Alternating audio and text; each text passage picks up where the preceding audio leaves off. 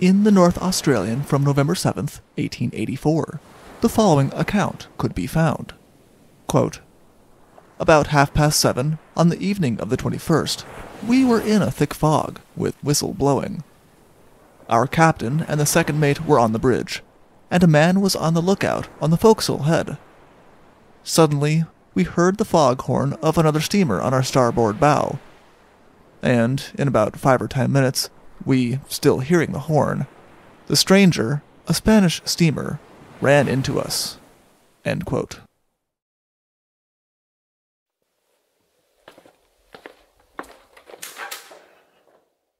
Hello, and welcome to the Shipwreck Archive. Thank you. Would you happen to have the story, The Deadly Chaos of the Gijon and Lexham? Here we are. Enjoy!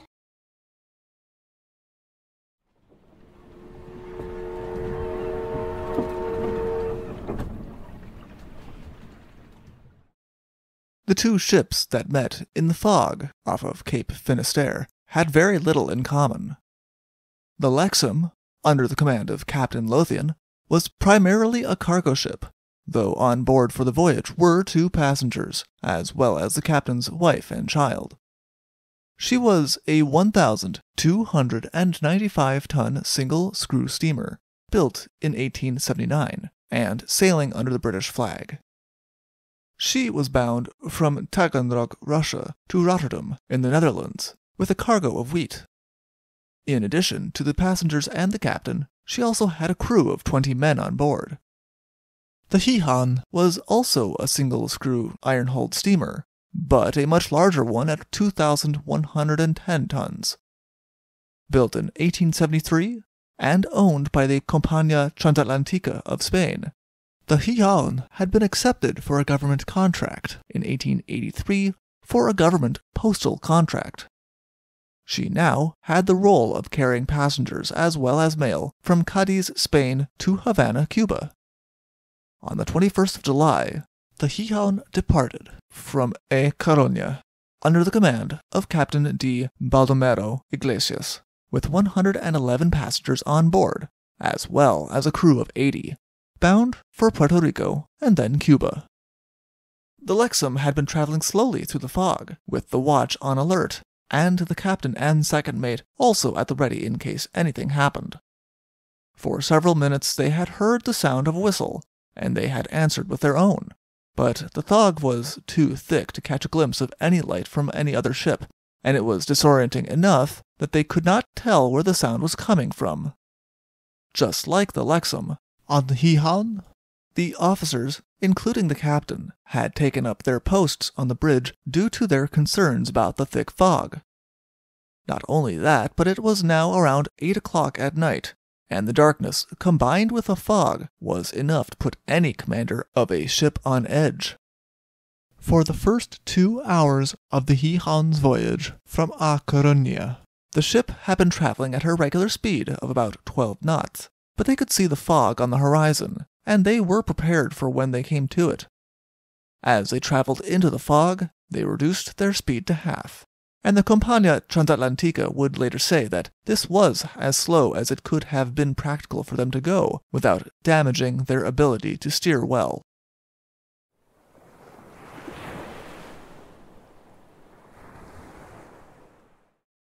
Though the Lexham would say that they had been sounding their whistle the entire time, the people who would tell their stories later from the Gijon would disagree. That their own fog whistle had been blowing was of no dispute. There were many witnesses to that, both on the Gijon and the Lexham. But the people on the Gijon insisted that they only heard the Lexham's whistle respond to theirs as she passed close across their bow, far too late to stop. Whether the Lexham was blowing their whistle at regular intervals is uncertain and impossible to verify. That if she was, and the people on the Gijon somehow failed to hear it, is almost certain. For those on board the Gijon, it was a horrifying moment as a side of a moving ship came into view directly ahead of them in the thick fog, and they heard the ship's whistle sounding its warning. The people on the Lexham were even more shocked. most of them failed to see the Gijon until it had already struck their ship. Both ships had discovered the position of the other one far too late. On both ships, the order was given to their engine crews to reverse, but there was far too little time for this order to have any effect on what was to come. The Gijon was a much larger ship than the Lexham, and plowed into her midship on the starboard side, sinking deeply into the side of the cargo vessel. The Lexham was nearly cut in two.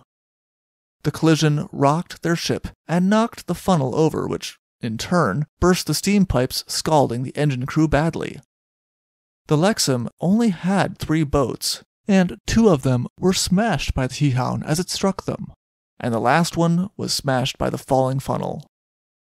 Some of the members of the Lexham kept their presence of mind enough to climb up the towering side of the Gijon and reach her deck for 30 seconds or so that the two ships were still stuck together. No one on either ship doubted that the wounded Lexham would stay afloat for long, and the entire crew of the Lexham rushed to the deck to try to escape. Captain Lothar's first concern was the safety of his wife and child, and he quickly tied a rope around his family, and the men who had reached the deck of the Gijon hauled them up. They then threw the rope back to Captain Lothar. Captain Lothar had been standing on the quarterdeck the entire time, but by the time it was his turn to be pulled up, the Lexham had sunk so quickly that, rather than being pulled from the deck, he was being pulled through the water. Almost the entire crew of the Lexham arrived on the deck of the Gijon. Among those who had found themselves on the deck of the mail steamer was Captain Newton, who was traveling as a passenger on the Lexham. Captain Newton had been the captain of the Azelby, owned by the same owners as the Lexham, but ten days before had lost his ship by striking the rocks of Cape Sagres, Portugal, in a thick fog he now found himself shipwrecked for a second time in the space of one month due to poor visibility.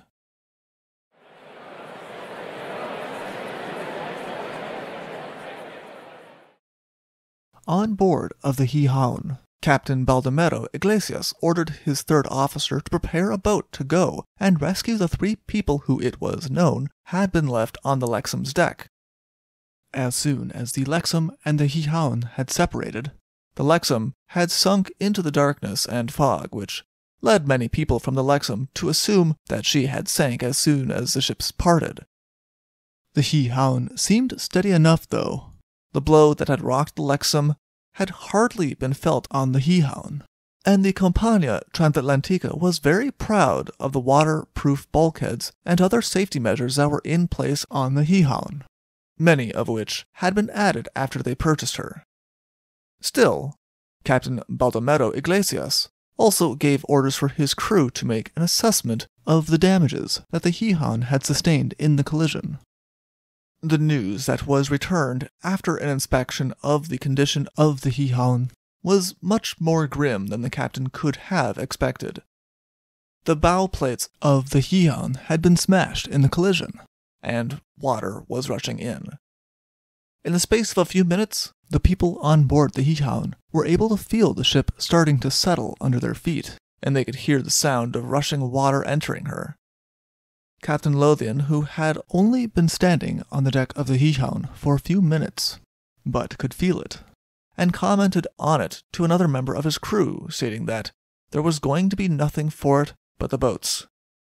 Captain Baldomero Iglesias clearly felt the same way and ordered that the boats be launched, but the moment the order was given, chaos descended. Part of the issue was that the passengers had no assigned lifeboats, something that would cause public criticism later.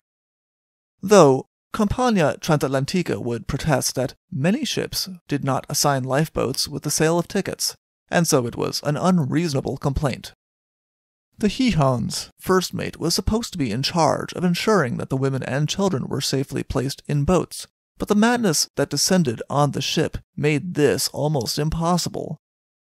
Soon, people were fighting over places in boats, and those who did find a place in a boat were forced to defend their spots with knives. The boats that did get launched were so full that the gunnels were only inches away from the water and in danger of being swamped. Captain Baldomero Iglesias did his best to control the situation, initially by simply giving orders, but later by walking through the chaos with a revolver. He was disregarded, however. The appearance of his revolver only served to create a rumor later that when the ship had begun to sink, he had put an end to it all with his weapon. Something that was published widely, condemning him as a coward who had acted badly and made the situation worse, even though this was later found to be far from the truth. Captain Baldomero Iglesias instead threw himself into trying to launch as many boats as possible, aided by members of the engine crew, while the first mate continued to try to save the women and children the best he could, and the second mate distributed the ship's plentiful lifebelts. At least once, Captain Baldomero Iglesias found himself on a boat as it was being launched, doing what he could to ensure everything went smoothly and the boat was able to escape. Though the people on board of the boat asked him to remain with them, the captain refused, however, and climbed back up to the deck of his sinking ship to see what else he could do.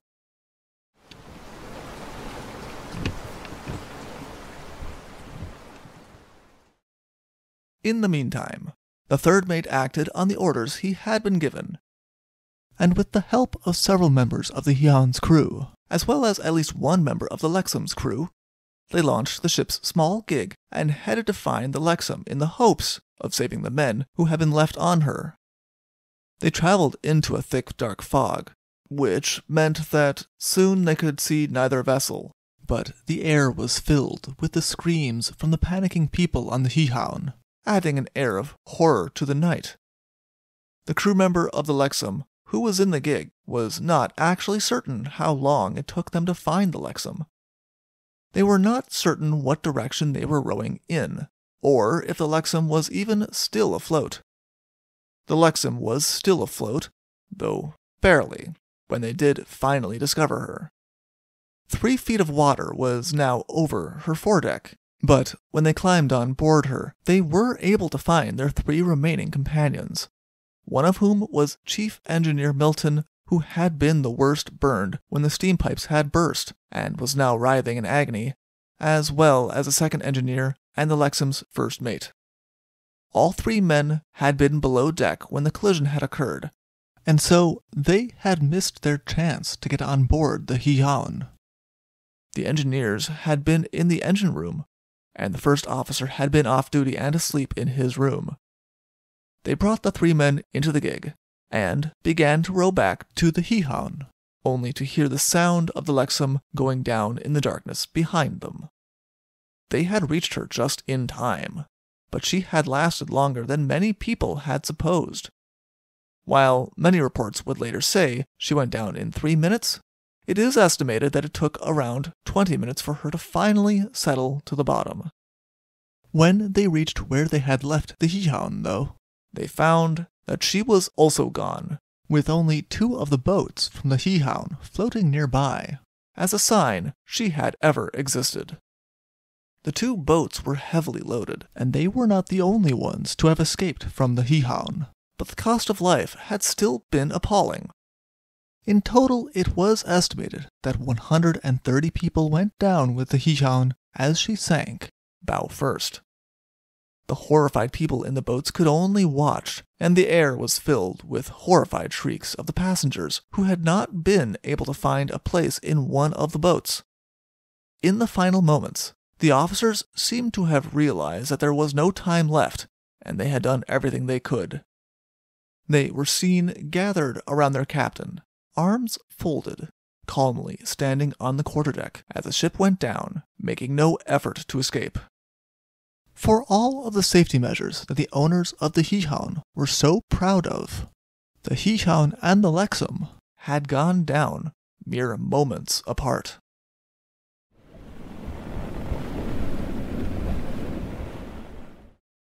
The boat that had gone back to save the people on the Lexham was soon separated from the other two boats by the rising wind that blew off the fog. For ten hours they floated, with the chief engineer Milton moaning from his injuries, and complaining of intense thirst, they could offer him nothing to quench. They were finally spotted by the French steamer Ville de Valencia and picked up. They could only hope that the other boats had been as lucky. One of the firemen from the Lexham had a near miss. He had been in one of the lifeboats that had been launched, but it was so overloaded that he had jumped out of it into the sea and swam for another boat, which turned him away because they too were too heavily laden. He finally found a boat that had been launched by another member of the Lexham's crew, which only had about 30 people on board. They were able to pull him on board, but that did not mean that he or they were safe. The boat that they were in had no rowlocks, and so they were not able to make much progress, and they also had no way of knowing where they were going in the thick fog and darkness. It was not until noon the next day that the fog cleared up some. Around eight at night, they were able to see the Cape Finisterre light, and they headed towards it. Occasionally, they would see a ship and try to attract its attention, but with the intermittent fog still present, every ship failed to see them. It was not until noon on the 23rd, after having been at sea in the boat for a little over a day and a half, that they were able to attract the attention of the steamship Zoe, and they were brought on board. All of them at this point suffering from hunger and thirst. None of the boats had had a chance to take on any provisions.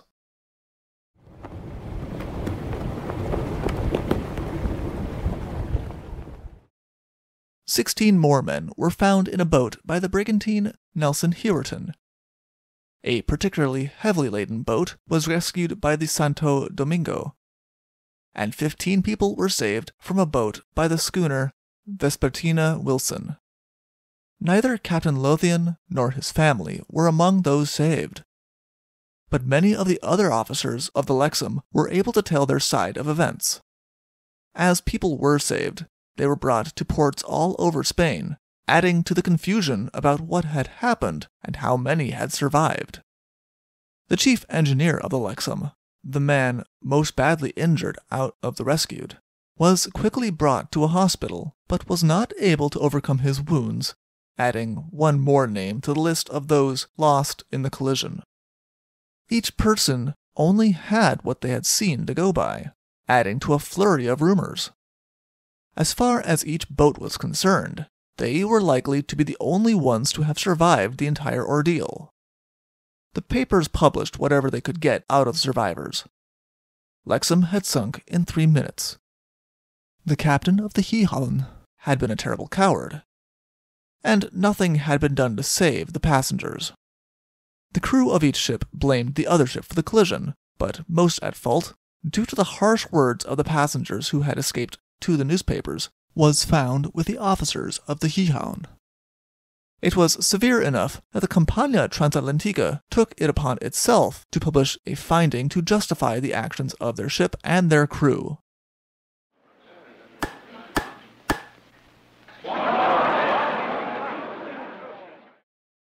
The captain and officers of the Gijon had more than enough experience and blameless records, the company pointed out. They also pointed out that even with his own ship sinking, Captain Baldomero Iglesias had still ordered the third mate, the only officer to survive from the Gijon, to go save the people who remained on the Lexham. That was not the actions of someone who did not care about human life. The Compañía Transatlántica was also quick to bring the passenger, Captain Newton, into their argument. He was found guilty of losing his ship through negligence in the fog, with his ship owned by the same people as Lexham. Did this not point to a company culture of poor management in low visibility? They were not willing to flat out accuse Lexham of not having employed their fog whistle, though they did point out that no one on the Gijon had heard it. Instead, they pointed to the direction of the wind and named several cases where, due to direction of the wind, one ship had not been able to hear another, causing a collision. They did emphasize that the Lexham had heard the Gijon, however, and even admitted to hearing her on their starboard side, The rules of the road stated that if a ship came to another on her starboard side, it was her duty to change course away from her. Indeed, if a collision had occurred, and the Gijon who was passing on her port side had changed direction on hearing the Lexham, the Compañía Transatlántica stated that they would feel completely responsible for the accident and bow to the world in apology. It was a strong stance, and they named many examples where such a finding had been held, but the matter would eventually be allowed to rest. It would be six years before a new agreement would be reached in international shipping that it was the duty of a ship on hearing another ship in low visibility to stop her engines entirely until they found where the other ship was. It was six years too late to save the 130 people who were lost with the Lexham and the Gijon. For more information, please see the Flintshire Observer from July 31st, 1884, or see other sources in the description below. Thank you for listening. Thank you for visiting the Shipwreck Archives. See you soon.